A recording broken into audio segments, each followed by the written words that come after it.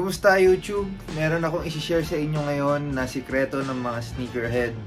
Okay? Number one na ayaw na ayaw natin. Kahit hindi ka sneakerhead. ba? Itong lukot na to guys. Pagpasensyahan nyo na yung naging sample kong shoe. Pero ang gusto kasi mapakita sa inyo, yung lala ng lukot na to. Or yung crease kung tawagin. So, ayaw natin yan. Lahat ng paraan ginagawa natin uh, nakikita nyo sa social media yung iba hinuhubad yung sapatos kapag uh, lumuluhod, kapag kami ginagawa. So, exaggerated na tignan, di ba? OA na tignan. So, paano ba maiiwasan to? Pues, sasabihin ko na sa inyo at ipapakita ko sa inyo kung ano na yung sikreto na yun. Okay guys, randa na ba kayo? Okay, let's go! So, ito na guys, ang sikreto. Okay? Uh, ito, itong parang plastic na to, siya ang nagpe-prevent ng matinding lukot dito. Okay, hindi naman na to maiiwasan, pero hanggat maaari, uh, wag siyang mapalala.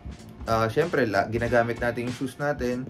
So, hindi natin namamalayan na lumalala ng lumalala. Ganito ang itsura ng ilang taon na ba to? Mga 8 years na gamit. So, siguro sa ganyan, hindi maganda maganda patignan pero kung titignan nyo mas malayo-layo 'di ba? Ang pangit na. Hindi na siya perfect yung hulma niya o yung shape niya. Nanatili na siyang ganyan. Okay? So, tetestingin natin nang wala nito. Ano ba itsura ng lukot? Ayan, ganyan guys. Oh. Sakit. Pero wala eh. Ganyan talaga sapatos. Pero, sa tulong nito, Okay, mababawasan niya yung lala ng lukot ng mga shoes natin. So, try natin ng meron nito. Okay? Nakita nyo kanina kung hanggang saan siya natutupi. Pagka suot-suot na to, tiyan natin. Shoot na? Yan, tinan natin. Ayan, okay. So, tutupiin ko siya. Stress test. So hanggang ganyan na lang. Hindi man halata pero ayan, nakikita nyo naman yung tupi. Tinutupi ko talaga siya ng may puwersa. So hanggang ganyan na lang siya. So compared kanina, di ba? Talagang ano, eh, aalisin ko ulit guys para mapakita sa inyo. Yan. Eh no, oh, bakli agad siya. So, syempre pa naglalakad tayo, di ba? Natutuping ganyan. So kapag ka meron ka nito, uh, hindi malala yung pagkakabend ng toe area, hindi nagkakaroon ng damage sa shoes. Okay guys, ito uh, nakalimutan ko yung uh, brand nito pero sa Shopee ko lang siya nabili. Hindi ito sponsored video, okay? Gusto ko lang talaga makatulong sa inyo mahihilig sa shoes na paano nyo ba mas maaalagaan ito ng mas maayos Okay, gumamit kayo nito. Wala pa ata siyang 100 pesos. Bumili kami ni, ng girlfriend ko. Binilang ko siya para mas maalagaan niya. Kasi ang dami niya ring Jordan 1 eh. Sa Jordan 1, itong uh, specific na shoes na to, uh, yun talaga yung sakit. Malala yung lukot niya. Lalo na kung ano siya, um, daily shoe. Okay? One more, one more thing. Try natin dito sa ano, sa mas bago ko. Kung kanina pinakita ko sa inyo yung 8-year-old shoe ko, matagal na matagal ko na yung lagi kong ginagamit, Rain or Shine. Ito, brand new, dead stock. So, tinesting ko pa lang siya, ayun itsura, mas malapit. So, napaka ano, napaka vulnerable nitong part na to ng Jordan. Actually, any shoe, pero sa Jordan 1 kasi ito talaga sakit niya. Madali malukot yung dito. So, try natin suotan. Ah, wait lang. Yung kabila.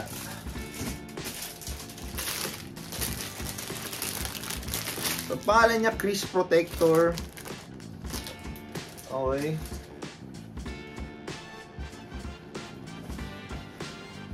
Ayan na, shoot na natin sa loob.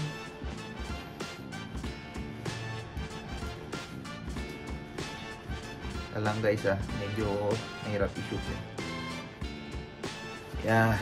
Ayan, I think, hmm, tutupingin ko na, stress test natin tong brand new na Jordan 1. So, hanggang ganyan lang talaga eh, no? Pinapersa ko sa guys, hanggang ganyan lang talaga. Di ba? Mas matigas pa to kapag ka nakasuot na yung uh, paa nyo sa loob. Mas ma-firm na to, mas mahirap na siya matupi. So, huwag kayong mag-alala, uh, hindi naman siya masyadong matigas to the point na bumukha ng awkward yung lakad nyo. Okay? Uh, pag suot nyo to, natural lang ang paglalakad, walang discomfort whatsoever. So, di ba? Napaka uh, napakalaking tulong niya para sa ating mahilig sa shoes, sa shoes. Sorry. At uh, na-help niya ma-maintain yung pristine condition ng shoe, di ba? Uh, Siyempre, hindi uh, kapag uh, tapos na natin gamitin yung shoes, sinusuotan natin ng ito, shoe 3. Okay? Di ba? Pagtapos natin para habang nagpapahinga yung shoes natin sa kahon, uh, kahit pa paano na ibabalik nito yung natural form niya. Okay? Aesthetic pa rin siya tignan, maganda pa rin tignan.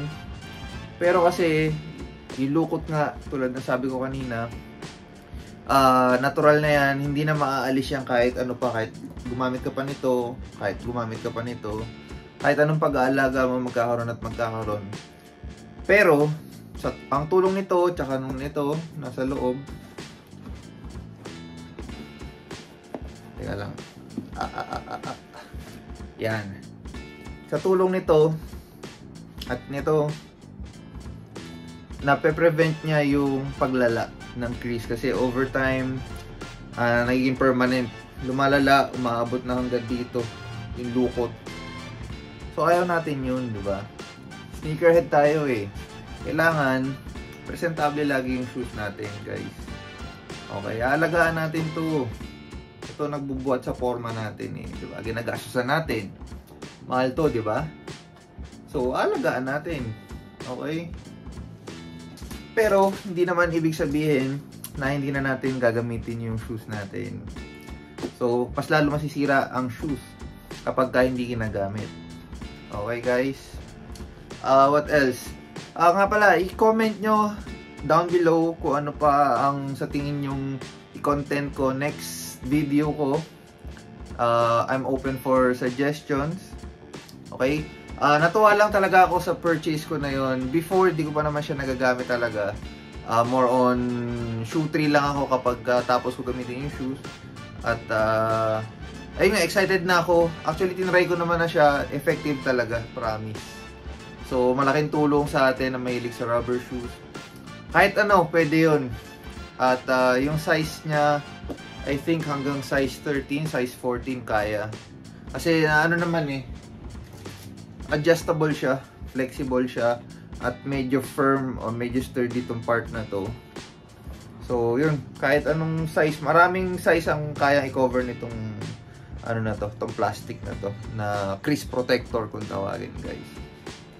So yun lang, guys, so I suggest na bumili kayo nito sa Shopee. Crease protector ang pangalan.